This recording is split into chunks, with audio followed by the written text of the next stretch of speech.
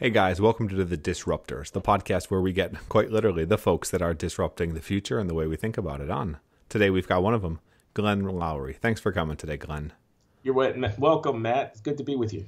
It's good to have you on as well. I wanted to get you on. You first came to my attention from the intellectual dark web guys, and I wanted to dive into that movement a little bit in terms of the the smaller scale public intellectual that suddenly becomes mainstream take me through take me through your story a little bit and how you became associated with those guys. Well, I'm not really associated with them, at least not yet. I haven't done anything in collaboration with uh, Jordan Peterson or Sam Harris or any of those guys, Joe Rogan. I know those names. I listen to some of their podcasts. I admire their work. Uh, I've read uh, 12 Rules for Life, and I've been affected by it. Uh, Sam Harris and I did one of his podcasts, and we talked about uh, race and uh, crime and violence and police and stuff like that, and that, that went over very well. But the way the reason that I think I'm mentioned in the same sentence with intellectual dark web types is that I've uh, been running a podcast for a number of years now uh, at a site called bloggingheads.tv. Uh, and there I carry on conversations with people, I suppose, not dissimilar to the way that you carry on conversations with people about books and ideas that I think are interesting. And um, I've had an ongoing uh, discussion at that uh, podcast with a friend of mine, a colleague called John McWhorter, who's a professor at Columbia University. We're both black, African Americans. We call ourselves the black guys at bloggingheads.tv. And we kick it around, you know, about everything. Uh, we started when Obama was running for president the first time. Okay, that's going all the way back 10 years uh, is uh, when John and I started doing these podcasts with the black guys at bloggingheads.tv, talking about whatever Black Lives Matter might be up to, or whatever uh, issue of racism is going on in the world, you know, at a Starbucks or something like that, or some of these uh, terrible incidents that happen when you know uh, people are uh, shot down by police officers, they're unarmed and they're black. we talk about those things and many other things besides the issue of affirmative action. Uh, which is controversial and uh, often in the news we talk about those things. Anyway, the long and short of it is the line of attack that John and I are inclined to take, and we are different people. He can speak for himself, but the line of kind of uh, reaction that we have to current day events that have to do with racial issues is often different from what one might expect from the black guys at bloggingheads.tv, which is to say, we're we're kind of contrarians. And again, my friend John McWhorter can speak for himself, but I think I can say this much. Uh, we don't uh, follow the herd. You know, we we uh, sometimes step out of line. Uh, we're sometimes prepared to question: Is everything really racism? We're sometimes prepared to call somebody out when they say something that we think is kind of dumb.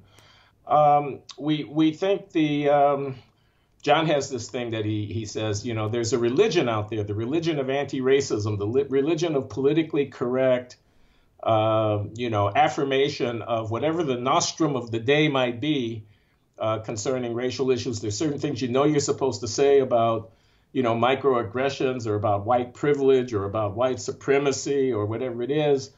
And we don't say those things. We think for ourselves. We will say those things sometimes, but often we will be saying, I wonder, what is this guy, Ta-Nehisi Coates, talking about when he says that there's no future for black people in America, that we are perpetually and forever going to be a subordinate, uh, subjugated, uh, despised? And didn't he just notice that? And then we'd go on to say whatever it was that contradicted the uh, this particular piece of zeitgeist. So that is how I think Bari Weiss, the writer at uh, the New York Times, did a piece on the intellectual dark web and uh, uh, called attention to um, our work a little bit. And uh, um, I think her name is Deborah Baum. I may be getting the name right. Uh, maybe not be getting the name right, but another journalist who had a piece out there called My secret love affair with the intellectual dark web or something like that, in which she mentioned our work at Blogging Heads as being indicative of a, you know, a kind of cutting edge, contrarian, pushing against the politically correct uh, grain, uh, uh, you know, kind of uh, discourse. So, in that way, I've come to be mentioned in the same sentence, but I, I don't know about a movement, uh, at least not yet. They got you listed on the website, so I think there might be something in the works. But in terms of in terms of why I wanted to have you on, I think that contrarian view is incredibly important. I imagine, although I'm not sure, is this because do you think you're like that because you're economist type mind? You're able to think about things logically as opposed to emotionally? Yeah. in, in brief, uh, although those are involves stereotypes, we just relegated the entirety of the conventional, uh, politically correct sort of campus chic uh, discussion of a, cl- a, class of important issues, racial issues. We just relegated them to e- the realm of emotion, and I just arrogated to myself the rubric of being uh, a rational, reasonable thinker based on evidence. Whatnot. But I think there's something to it. uh, economists are taught from day one that there's no free lunch, and people laugh. They think that that's just some kind of uh, poster, some kind of right wing, you know, uh, slogan. No, no, no. It's a deep insight. And I mean, it captured in a pithy phrase. There's no free lunch. That means that whatever the cost and benefits are, you need to take them into account before you decide whether doing something is a good idea. There's nothing for free. Everything has alternatives that might have been done instead of the thing that you're doing. You have to think through what the alternatives are. There are always unintended consequences to large scale social interventions. There are reasons why people do things. They're not just, people are not just uh, evil or or, or just intrinsically racist. I mean, people are uh, usually acting more or less in their own self interest as they understand it, based on the information that's available to them and so forth. Uh, so there, there is something about economics that I think predisposes one to be suspicious of, uh, you know, monocausal, one-dimensional, uh, you know, kind of uh, uh, uh, accounts of complicated phenomena. I should be concrete. I should give an example. So, uh, police interacting with uh, young people, young men, young black men in urban areas. So, you know, the idea that racism can basically account for what it is that I'm observing there seems to me to be insufficient. Are there racist police? Of course, there are racist police. There's also uh, a huge racial disparity in the incidents with which people participating in criminal activities in certain places. Now, there are reasons for that.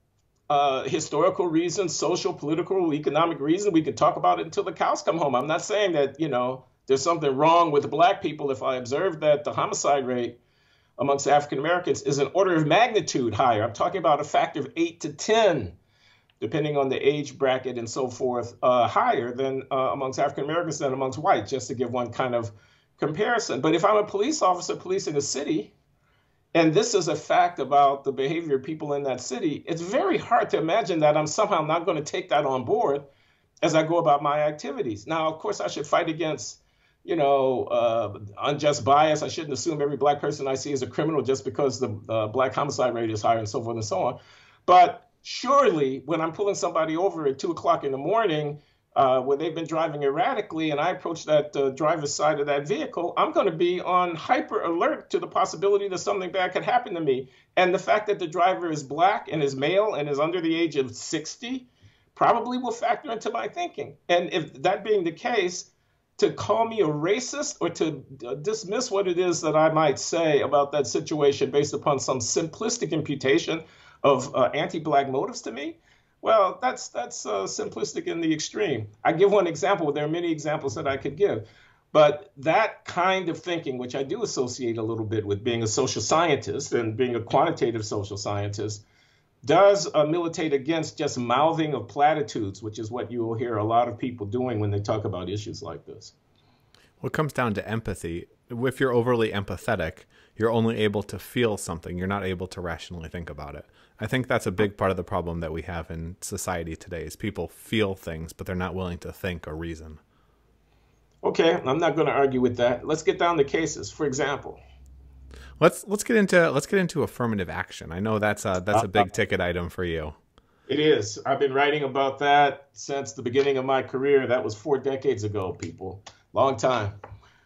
How do we how do we deal with that going forward? Because I, I mean, you're a professor now at Harvard. Harvard had their fair share of scandals when it comes to affirmative action and uh, Asian students. How can we think about this? And do you think we should have affirmative action? Not have affirmative action? Break break down your opinions and your your thoughts on the matter because you're much more educated than most on this. Thank you. Uh, I'm at Brown University right now. I was a professor at Harvard University for a number of years between 1982 and 1991. That's going way back. But I haven't been affiliated with Harvard for some time. But I do know the university and I know this case. Um, I don't know how much time we've got. I'll try to be succinct. Um, I'm of two minds about affirmative action, and it has to do one with the general acceptability or admissibility question and then the other with the practicality and where do we go from here question. And I differ along those two dimensions. On the general uh, permissibility, is the practice of racial affirmative action inconsistent with the U.S. Constitution's 14th Amendment, the Equal Protection Clause, or with the Civil Rights Act of 1964, which is an act of Congress signed by President Johnson, which regulates discrimination uh, issues? I think it is or at least it can be. It's, I would not presumptively and categorically rule out affirmative action based upon a constitutional or legal argument. It's racial discrimination. It's no different from uh, no blacks or no Irish need apply. I thought we were done with that. That kind of argument, I don't buy. I think that you can carve out an area within the law, and the Supreme Court has done this under its jurisprudence doctrine called uh, strict scrutiny affirmative action policies are consistent with the Constitution, court have said in a number of cases, as long as they can pass strict scrutiny. And strict scrutiny means that the activity of a government which involves racial discrimination has to be narrowly tailored in order to advance a compelling public interest. So there are two dimensions to the test. Is the activity narrowly tailored, meaning to say, is there some non discriminatory way of achieving the same objective that's at hand? If no, then it's narrowly tailored. And does it advance a compelling public interest? That is, is it being undertaken on behalf of something that is really important to the government? Now, the Supreme Court has held in the cases of higher education, um, most recently in the University of Michigan case, Grutter v. Bollinger, Gratz v. Bollinger. There were a pair of cases that came out of Michigan in the early aughts. I think they were decided in 2003. Sandra Day O'Connor wrote the uh, the compromise uh, opinion of, uh, I think it was a 5 4, but it might have been a 6 3 majority of the court. But in any case, uh, they've decided that the pursuit of ethnic racial diversity amongst the student body, when pursued not with a quota, but with the holistic evaluation of student applications that weigh a variety of factors and take race into account along with other factors, so long as it's narrowly tailored to advance the interest of creating diversity that's consistent with the Constitution. That was a long winded way, but I'm just trying to tell you what the legal doctrine is. I'm okay with that. I'm not one of these people who's running around saying that um, one of these people, by the way, would include Justice Clarence Thomas of the United States Supreme Court. He's in the minority on these opinions. Uh, I think his view has to be taken seriously, but I'm not one of these people who run around saying, uh, look, the letter the letter of the law is very clear. No discrimination means no discrimination. Uh, equal protection of the laws without regard to race means what it says. Affirmative action violates that. I'm okay with the compromise that the court has uh, has in fact arrived at on the legal doctrine. So that's one point. Contrary to that, however, pushing in the other direction is my assessment about the pra- practical implications of institutionalizing racial preferences as the device, a primary device for ensuring the presence of African Americans in competitive, uh, elite, highly selective intellectual academic venues like a Harvard University. Harvard admits like five or six percent of its applicants in recent classes. Okay, so they're admitting, I don't know, 1,800 to 2,000 students, and they're getting, I don't know, 35 or 40,000 applications. Um, the difference in the test scores, if we looked at only the academic qualifications of the students, I'm talking about what their GPA is in high school, I'm talking about how many advanced placement courses that they took in what disciplines, I'm talking about what their letters of recommendation say from their teachers. Uh, and I'm talking about their scores on the SAT test or uh, the um, ACT, you know, these college entrance examinations that students take, the standardized examination, if you look at those data, the disparity in um, the preparation and the competitiveness, I'm talking about the academic qualifications of applicants between races, is vast. I'll just give one indication of this. These are rough numbers because I don't have the t- data right in front of me, but I, I'm, I'm quite confident that what I'm saying is close to being accurate. Uh, divide the applicants ranked by their academic index, that's their grades and test scores, into deciles. What that means is divide the entire population into tenths, ranked by the top tenth of the applicants, the second to the top tenth on down to the tenth of the top tenth, and ask the following question. What fraction of African American applicants to Harvard fall within each tenth? Answer. Roughly 2% of black applicants, 2.5% maybe, are in the top two deciles of the population of applicants ranked by academic index. That is to say, the top 2% of Africa, the top, sorry, that's, that is right. The top 2% of African American applicants fall within the uh, top 20% of overall population. Likewise, roughly half of African American applicants to Harvard have academic indices that fall in the bottom two deciles. Okay? That's saying 80% of all applicants present academic qualifications better than the median African American applicant. So, so uh, that's a stunning difference. If you looked at the Asian applicants, about a third of them are in the top two deciles, and some like 5% of them are in the bottom two deciles. Okay. In order to get 12% to 15% in the most recent class at Harvard is 15% African American. In order to get 15% of the applicants African American, admits African American, when you have that kind of disparity in the test scores, you have to have huge differences in the likelihood that an applicant is admitted based upon their race. If you fall, for example, within the seventh decile, so that's from 70 to 80% of the uh, you're, you're ranked between the 70th and 80th percentile of the distribution of applicants in terms of your academic index, and you're black, your chance of getting into the university is like 0.5. You got 50% chance of getting in if you're in the 70th to 80th percentile of the academic distribution of applicants. If you're Asian, your chance of getting in is like 5%. It's like a tenth of the chance of an African American applicant getting in if you're falling in the upper tier, but not quite in the top of the applicant distribution. Anyway, I could go on. The, the gap is very, very substantial. Now, here's what I'm saying. What I'm saying is, even if the courts decide that affirmative action is legal, which they have done, and they may yet decide again in this Harvard case that's pending, even if they do, think about the implications of living in a world where to get into Harvard, an African American student doesn't have to be, and everybody knows that he or she doesn't have to be anywhere nearly as distinguished in terms of their academic qualifications as an Asian student who's admitted to the university, or a white student for that matter who's admitted to the university. Or to put that point in a different way, think about being an Asian applicant rejected at Harvard, knowing that your chances of getting in, even when you present the most excellent academic profile, are very significantly different than your chances of getting in would be if you belong to one of these other groups.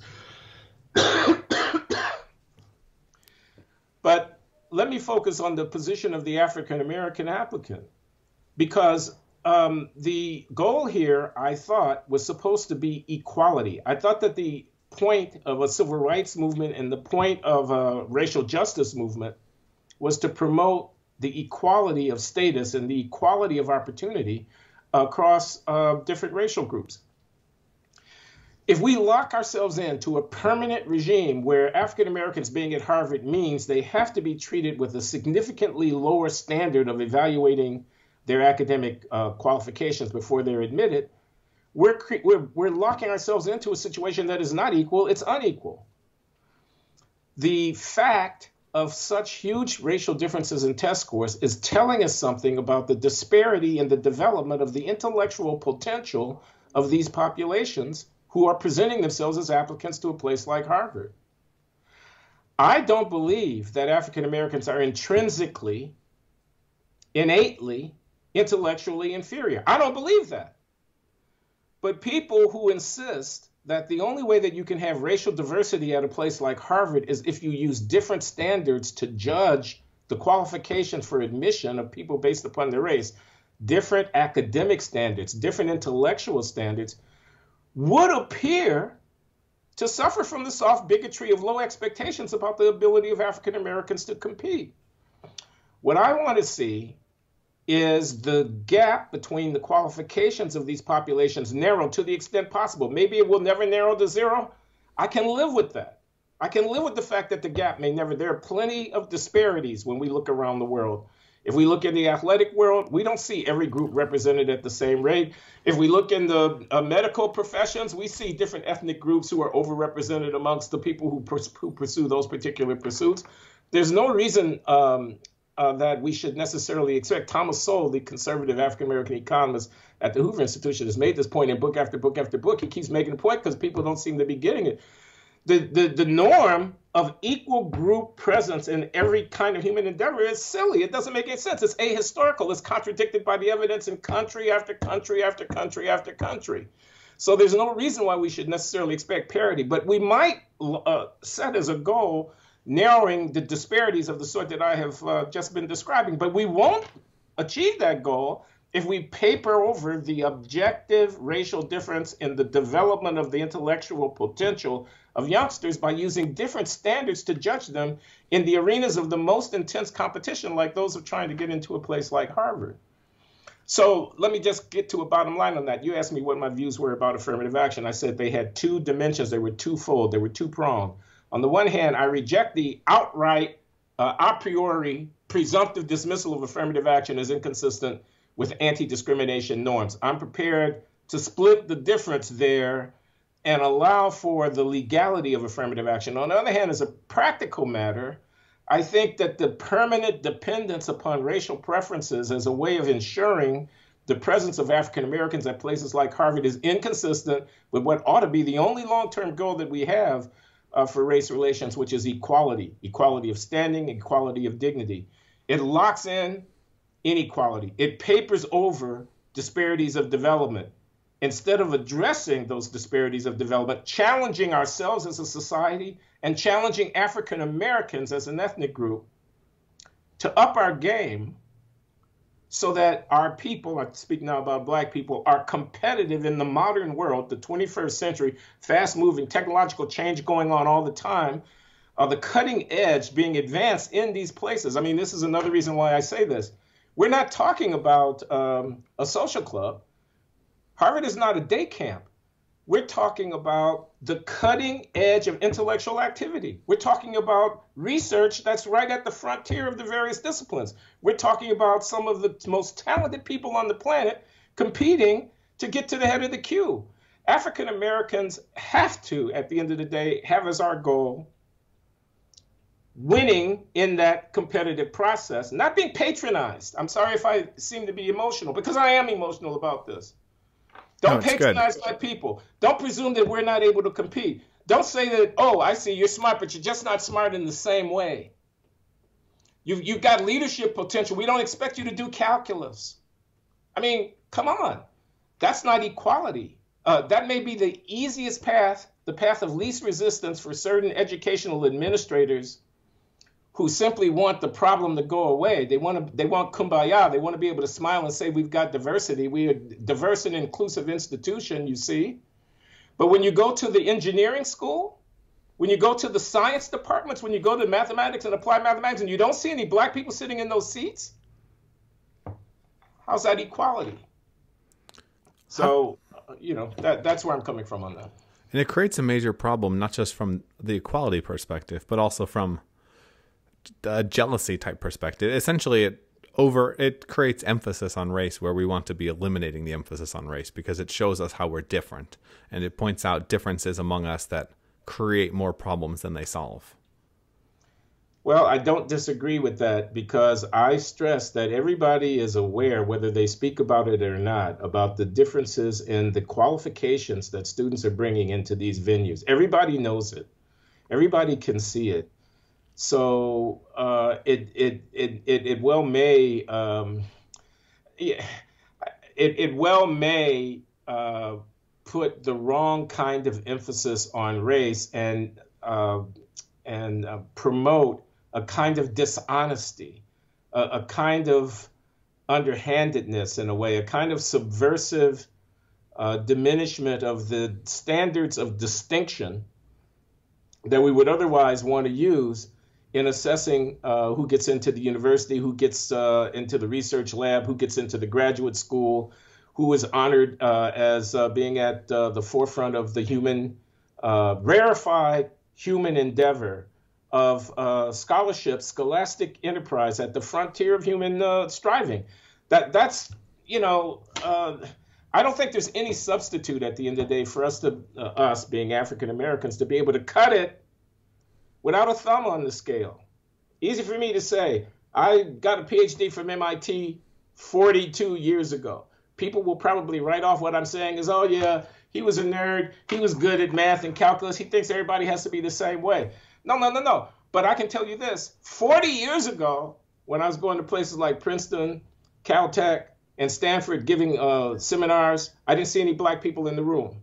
I'm talking about economics research, econometrics, economic theory, mathematical economics. I saw a few black people in the room. Today, I go to these same places, giving the same kind of lectures, and I still see few black people in the room. So guess what? All the Afro American studies departments in the world, all the third world centers in the world, all the affirmative action, all of the people of color coalitions, all of the counselors, advisors, and associate provosts and deans in the world for diversity will not put a single person in one of those seminar rooms.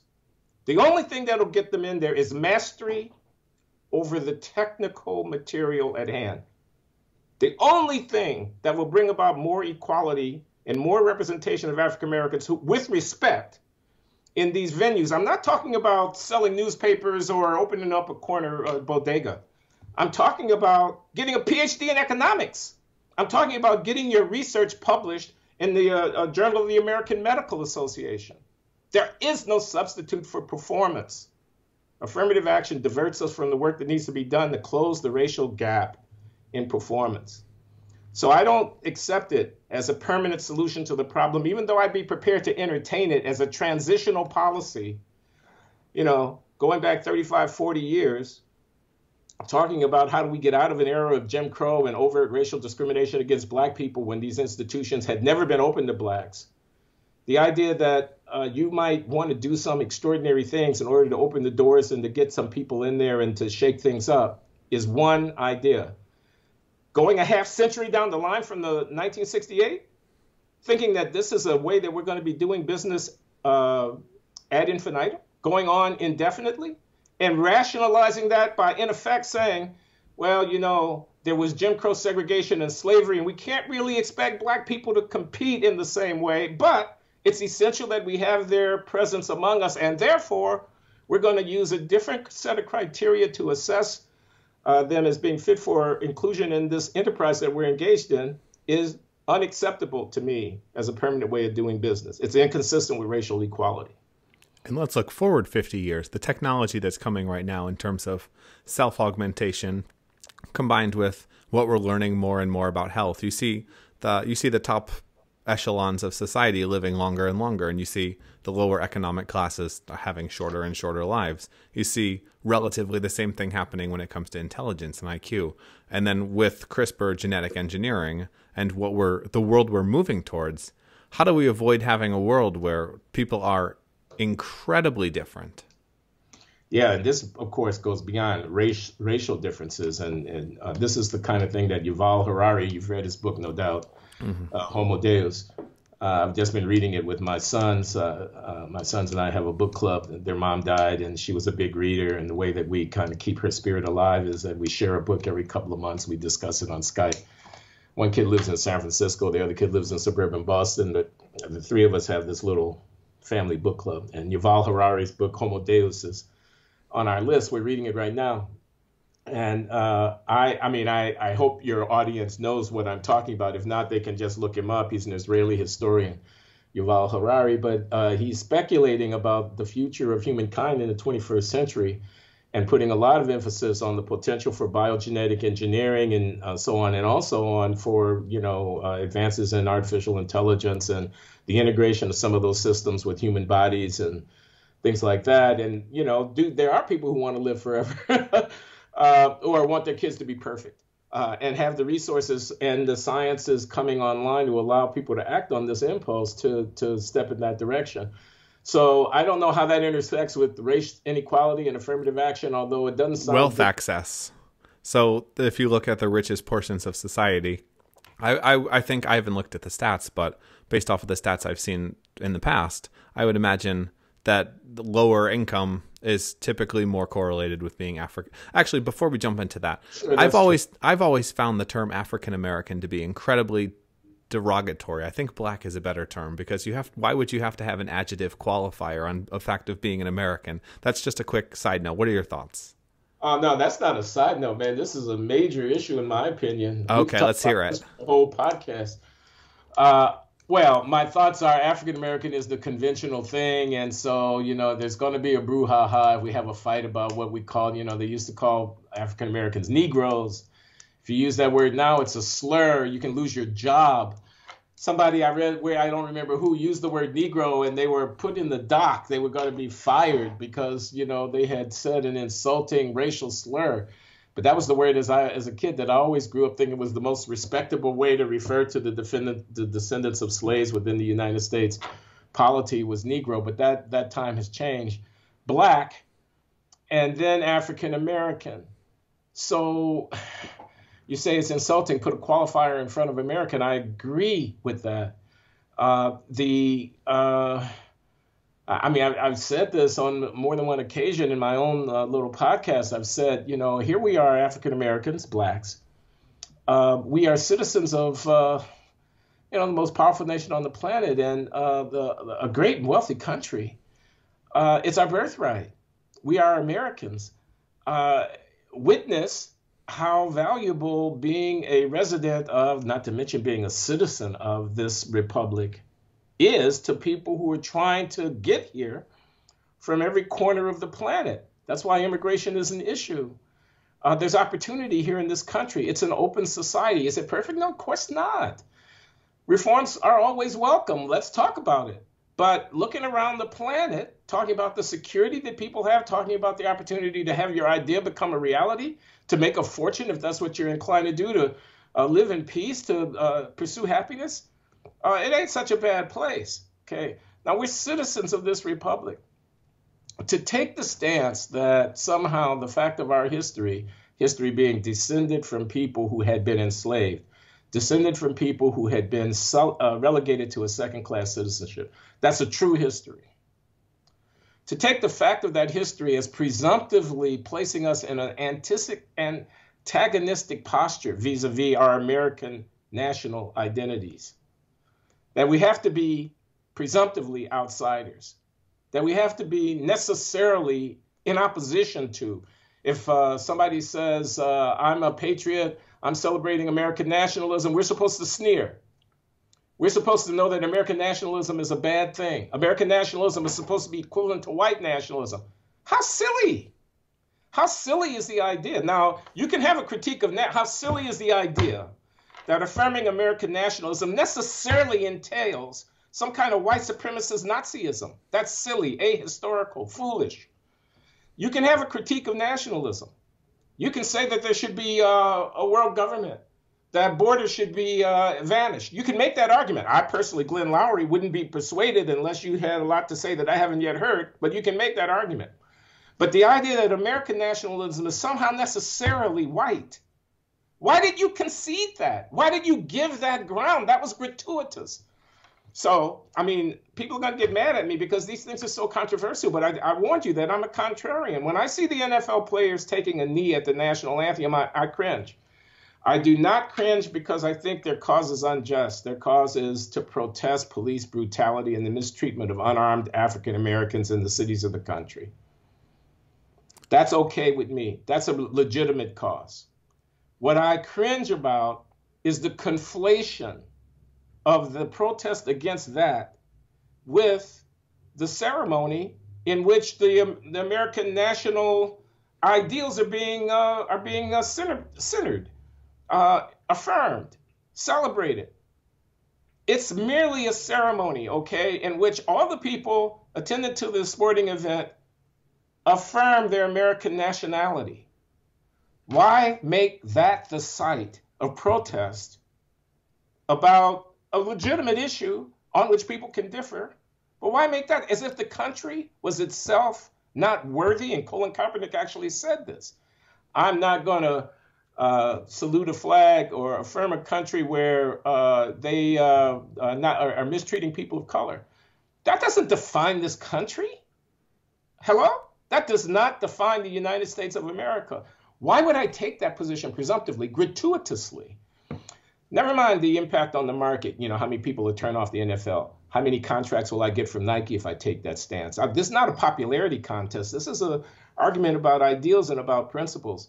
And I think the, uh, the principle or the ideal that African Americans, I use the phrase, I don't, you know, it's the, it's the term of art, it's the phrase that people are using. People who are black, black people, people who are Americans who descend from slaves, can at one and the same time maintain our dignity as black people and affirm the uh, commitments that we have to our nation as patriots there's no inconsistency between those two things. I don't have to buy a right wing immigration policy in order to affirm my status as a citizen of this great republic.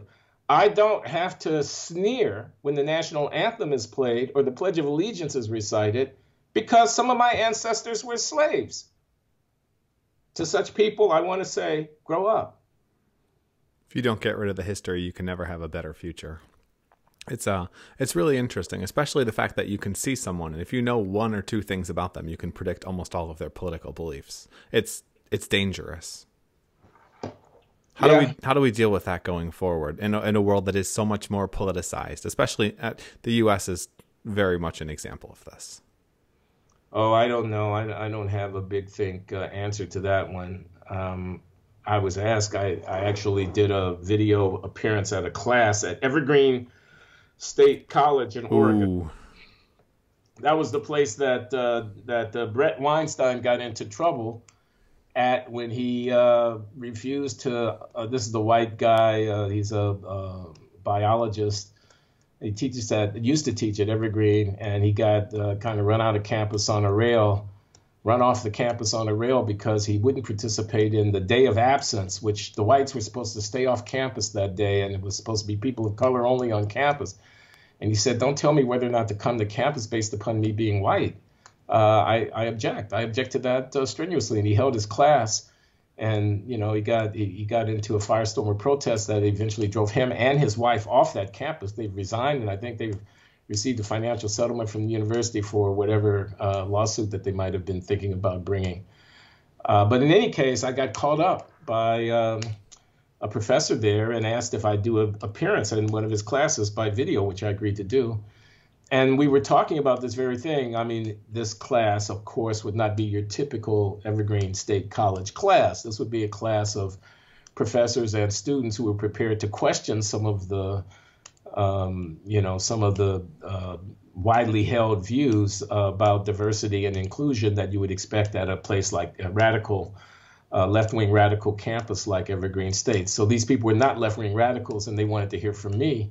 And they asked, Well, what can you do? Which is kind of a question that you just asked. To which my answer was, I don't know.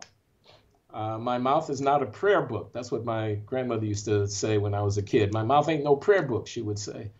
Uh, and I'm not infallible and I don't have a crystal ball. But I have this conviction that if we don't speak out, we being people who think differently from the norm and who have our own ideas that are critical, like those people in that classroom at Evergreen State whom I was talking to, who regard themselves as pariah when viewed by the larger campus because they have these heterodox ideas. We can't just lie down and let people walk on us. Uh, we can't uh, go into a kind of silent, you know, it's somebody else's problem. Uh, the, if the emperor has no clothes, if you see the naked emperor, and this guy's walking around, and everybody is acting like he's uh, decked out in the finest garb, but in fact, he's standing before you more or less naked. With Trump's uh, fake wig. you, you, you have to you have to say something. Uh, you you know you have to have the courage of your convictions. Otherwise, you shut up, stop complaining. If you if you're not willing to face um, the mob, it's sometimes a mob, uh, then uh, shut up. There's two sides to the mob. Science has become so politicized lately. The one thing that's not supposed to be political is becoming toxic on both sides. How do you think about that and how we can change potentially that, especially with race, with climate change, with gender? I talked at my podcast with a guy um, who's uh, Patrick Brown is his name. He's a postdoc at uh, the um, uh, at a Center for Scientific Studies at Stanford. Uh, I may think of the name of it, but in any case, uh, this guy's a climate scientist, and we were talking about climate change, and I basically wanted to get an education about you know what is the what are the basic facts about uh, the changing climate, about the uh, role that human activity plays in it, about the possible remedies for dealing with uh, climate change through regulation of human activity. What do scientists agree about? What things are still open for uh, debate and controversy, and so on. So that was the tenor of our conversation. He said something that I thought was quite interesting because I asked about political correctness amongst climate scientists, and he definitely acknowledged that it's there uh, we both recalled the um, East Anglia, the University of East Anglia controversy, where some emails, the Climate Gate, where some emails were made public in which climate scientists were basically agreeing among each other that some kinds of findings were helpful to the cause of mobilizing human um, uh, opposition to climate change through a reduction in the uh, consumption of uh, CO2 producing uh, fuels. Uh, some things were good for that uh, project, and some things were bad for that project, and they were cutting and dicing and slicing what research would be supported, what research would be reported based upon a judgment about the political impact that that research would have, where research that doesn't foster the crusade of mobilizing activity against climate change was regarded as non grata. that was revealed, and I, I called that to Patrick Brown's attention, and he acknowledged that that was indeed the case. But he said, there's a countervailing force, and I wonder uh, what you think about this, Matt. The countervailing um, tendency, which is that in science, your fame, your notoriety, your your professional success turns on finding things that go against what the community believed to be the case. Scientific revolutions, the great breakthroughs, the way you get a Nobel Prize is by producing research that people didn't think was true until you did it. So if you want to be a famous scientist and you want to get the highest credential, the rewards are huge to going against the consensus if indeed you can prove that the consensus is wrong. True, there's social pressure for conformity among scientists to affirm the consensus, but there's also rewards for those if they can uh, measure up with the proof who can demonstrate that the consensus is not accurate. And he thought that that second force was actually more powerful than the first. So he, Patrick Brown of uh, postdoc at Stanford, uh, was less concerned that uh, the effect of uh, of uh, political correctness on climate science would be to shut somebody up and keep secret a finding which actually ran against whatever the consensus of a view of the community might be. There's also infinite funding for research looking the other way. You have all of big oil, all of coal, all There's of, that. all of the right wing looking for any type of excuse they can find.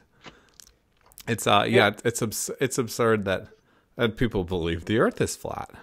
But yeah, that's also true. But I wanted to say in the social sciences, I think you have a bigger problem. I mean, I can think of any number of issues.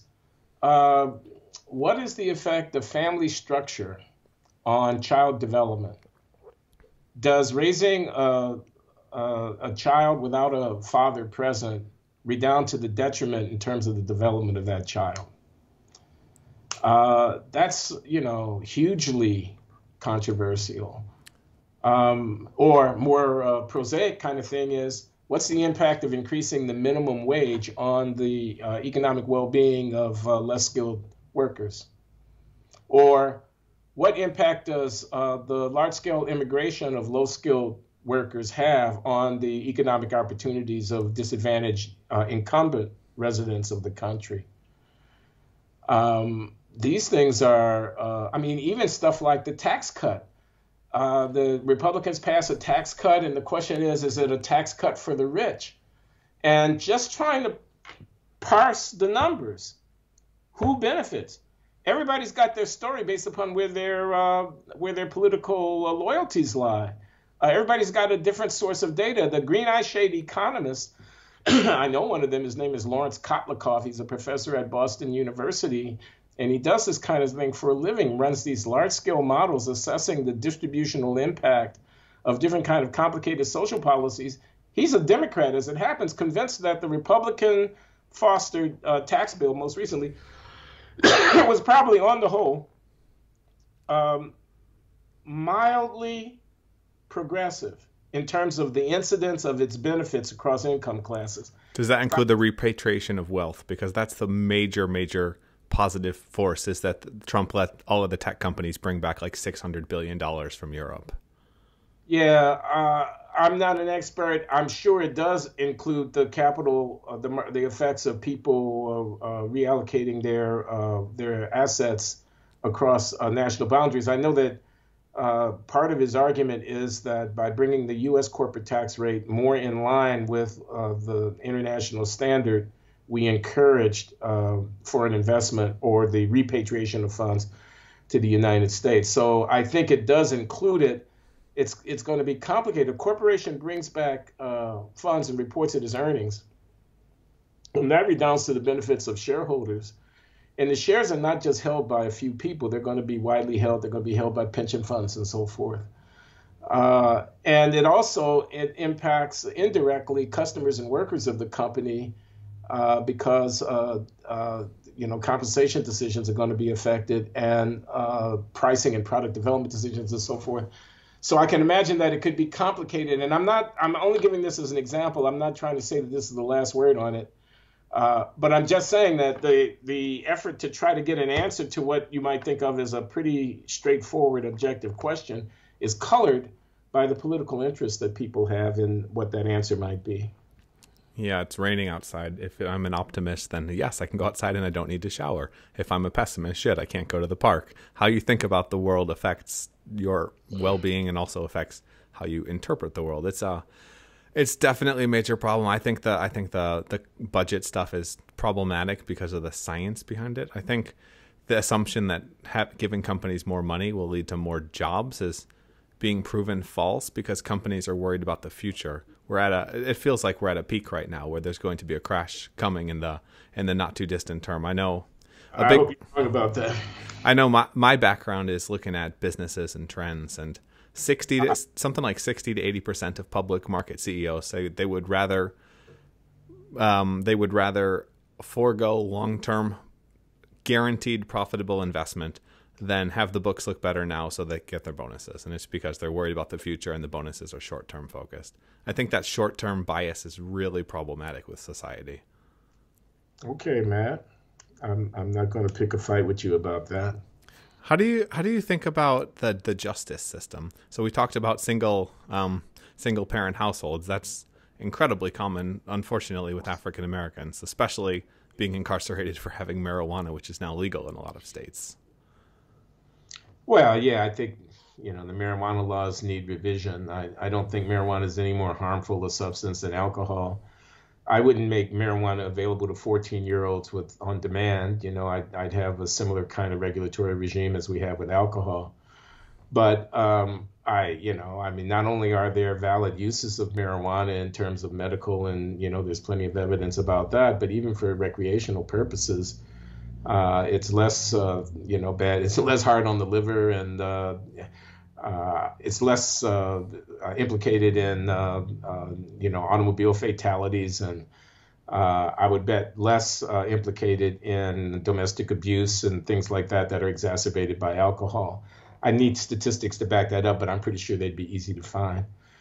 And you know the prohibition. I mean, the history of prohibition on marijuana is tainted with all kinds of racist, anti-Mexican, anti-black superstition and whatnot. Um, and as you point out, the states are uh, are liberalizing their laws across the boards. I don't know how many, but dozens of states now have either medical marijuana or they've allowed marijuana to be uh, uh, available on commercial uh, terms too under some regulatory regime. Uh, that's the obviously the direction that we're moving in. Marijuana prohibition is uh, dying a slow, painful death. I saw um, a um, uh, who was it? Somebody, a former uh, Republican attorney general who had an op ed piece uh, calling for the federal government to legalize marijuana on the argument that uh, the federal law should not be in conflict with so many states that are moving toward liberalization. Let the feds get out of the way and let the states decide for themselves what they want to do. Uh, I don't think that marijuana uh, enforcement, which is noxious in my view, is the major or even uh, a significant factor in looking at the extent of incarceration in the country or at the racial disparity in incarceration. Um, I, I, I, think that the anti drug war of the 1980s, of the Reagan years and following, are, was implicated in this upswelling of punitive sentiment, longer sentences, mandatory minimums, and whatnot uh, that are part of the process that led to mass incarceration. The war on drugs, this crusade against uh, against uh, illicit substances, is a part of the cultural, social, political dynamic that led to us having two and a quarter million people under lock and key. And there was a time when uh, the growth in imprisonment was largely being driven by people being locked up, not so much for marijuana, but for cocaine and heroin and methamphetamines and whatnot, trafficking in uh, in those substances. Um, but uh, I, I, forgot what your question is. I just got off on marijuana, which I think should be legal, uh, but which I don't think, even though it's now not legal everywhere, is the major factor in accounting for how many people are in prison. What was your question? Just really your thoughts on the broken incentives, the system of prisons. You covered a bit of it. Yeah, I mean, and we're so much unlike other places in the world. It ought to make us stop and think. Uh, they're somehow able to run a society in Germany or France or even the United Kingdom, which has a pretty high incarceration rate but is dramatically lower than our own, or in Scandinavia. These are, you know, in some ways comparable societies to our own. They don't have the same demographic profile, but they are uh, wealthy, they are capitalist, they are democratic uh, uh, countries and they have crime issues. They, you know, there's it's not as if they, they don't have anything like the gun crime and violence that we have in the United States, but they have property crime up the wazoo, just like we do, or even worse. And they don't have anything nearly as many people in prison. And their attitude toward what you do with someone when you put them in prison is really quite different. Uh, much more of a humane, if you will, developmental focus. They know that people are coming through, they're going to be getting out uh, things like that. You don't see uh, solitary confinement being used as a dis- disciplinary device in the penal systems of these countries. You don't see capital punishment uh, in these countries. You don't see uh, juveniles being sentenced to life without the possibility of parole. Uh, in these countries, um, you don't see 20-year sentences for you know 25 years to life for three felonies and things like that. Sentences are shorter. Uh, conditions of imprisonment are, are less draconian uh, and so on. Uh, you don't so much, although I, perhaps things are changing with the rising nationalist uh, parties on the right in some of these countries, but you don't so much see a politics of lock them up where the politician is running to promise the electorate that he's going to be or she the toughest one you've ever seen in terms of dealing with crime and criminals, uh, which we have had here yeah, imagine so, imagine if you had police officers ticketing you for going one mile an hour over. If you incentivized them to write tickets, that's what happens. Well, yeah, that's true, but you know, you ought to challenge that or something. I mean, one mile over, that's that's kind of, but you know, they have tremendous authority. You're right, and if you incentivize them to take to discretion is what I mean to say. They have tremendous discretion uh, you could probably lock up everybody if you penalize people for going one mile over the speed limit. The the only constraint would be the number of police officers and the number of cruisers on the road, because a lot of people, a lot of people are driving uh, above the speed limit. That gives the officer discretion about who he's going to stop, which can sometimes be abused. Eventually, you get to the gulag system like USSR. What technology are you most excited about that's upcoming? Well, you're talking to the wrong guy. I'm an old fogey. Uh, what I mean, I you know, I don't even know what technologies I can name. What are you worried about then? Uh, uh, now the easy answer here, I'm an economist. I'd have to say automation and you know the disappearance of work. What's the future of work going to look like? Robots displacing people, and all of that. Uh, on the one hand, this is an old idea in economics that technological innovation that drives people out of their incumbent niches in the economy is a good thing on the whole over the long run because those resources end up getting reallocated and rededicated, although it's a painful thing in the short run for the people who have to bear the adjustment.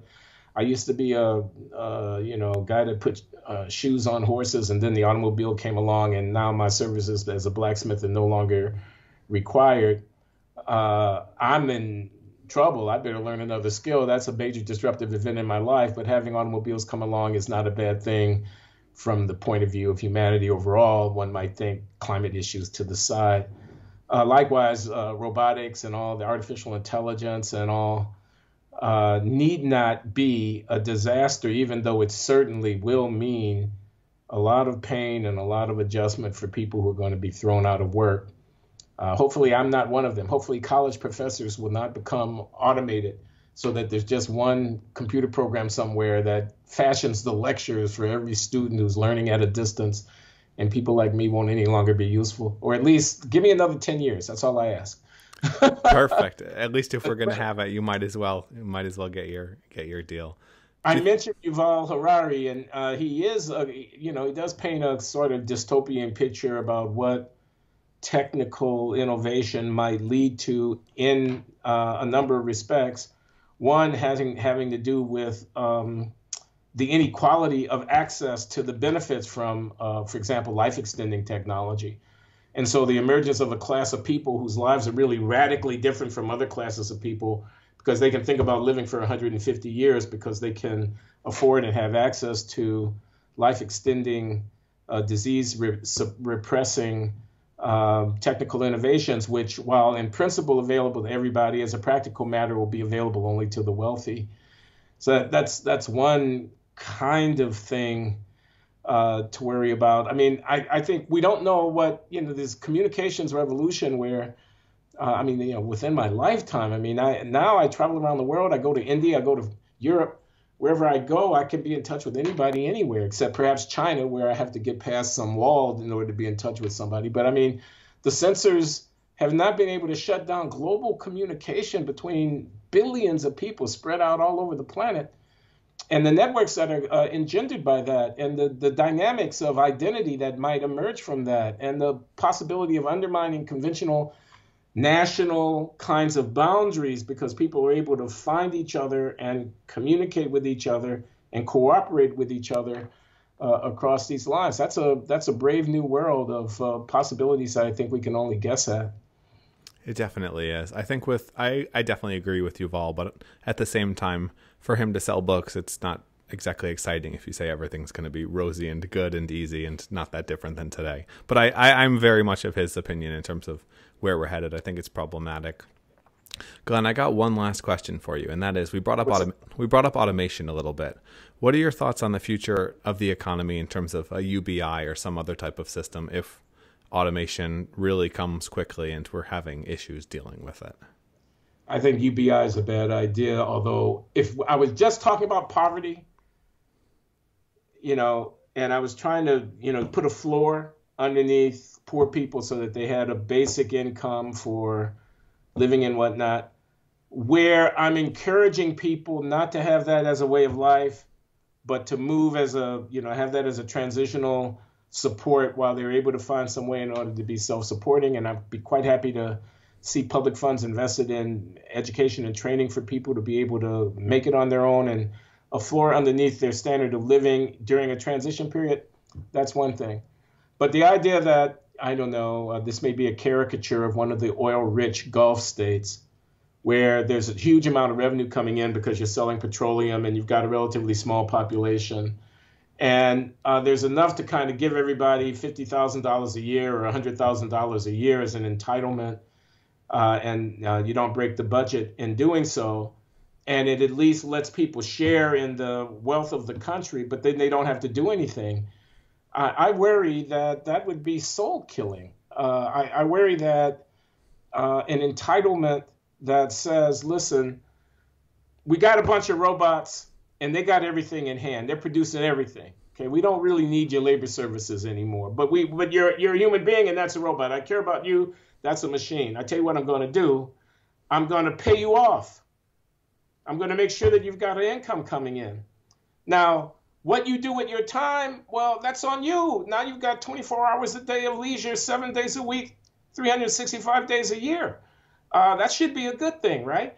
And I worry that it wouldn't be such a good thing. Uh, just uh, just maybe a failure of imagination on my part. Maybe people liberated from the nine to five routine and the requirements of having to work for a living will find other ways of devoting their time that will enhance human welfare in, in a manner that I can't yet now imagine.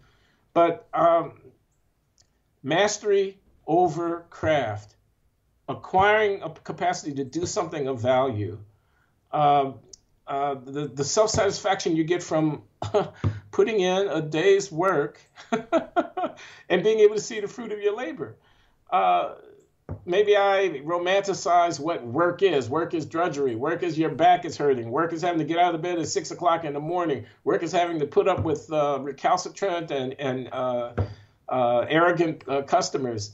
Uh, work is pain. Work is sweat. Why wouldn't I be delighted to see people liberated from the need to do that?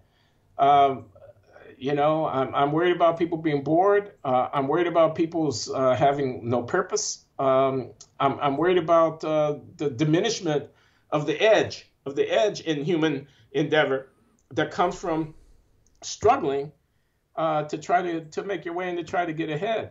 Uh, I think it might be a, a, a, mistake actually to think that technology can liberate people uh, so that uh, that you know we're all going to live in this uh, uh in this uh, wonderful land where nobody has to worry about getting up at seven o'clock in the morning and get to their work. If I gave you five million dollars and banned you from working for the rest of your life, what would you do? I wouldn't take it. If you talk about me, I wouldn't take it. I wouldn't trade. Banned you from working for an employer for the rest of your life. Okay. You can still do what you want. You can still run the podcast, have interesting conversations, write papers, can but you I don't have to. On account. do what? Uh, can I get patrons to list it on uh, the internet so that uh, they people want to give me money, they can give it to me because they like my podcast? Yeah, you can still do that. I don't see why not. Uh, can I sell my books if I write them? I don't see why not. It's not a job. Okay. And if I want to invite students to my home and hold forth lectures and so forth, uh, I'm free to do that. You are, but make sure you're not doing any solo ones that could be questionable. okay, I might want to negotiate with you on the five million. It might be more like fifteen million, but I'm I'm prepared to consider it. Okay, so it sounds like it at least could possibly be interesting, Glenn. I've had you on here for a while. I want to thank you for coming on. Okay, One last thing, what would you leave people with? Quote, call to action, etc. Oh, Matthew.